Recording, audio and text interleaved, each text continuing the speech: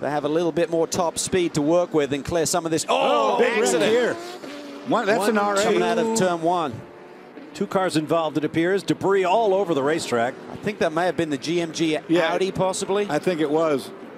This front of his car. Oh, look at the oh, look debris. the Debris. Oh, oh, we more got more. Max is involved. The leader's involved there. Angelelli's Velocity World turned Wide around. car goes around. Yep. On board with Max. Let's see if he hits this car. I think he does. Yeah, he did.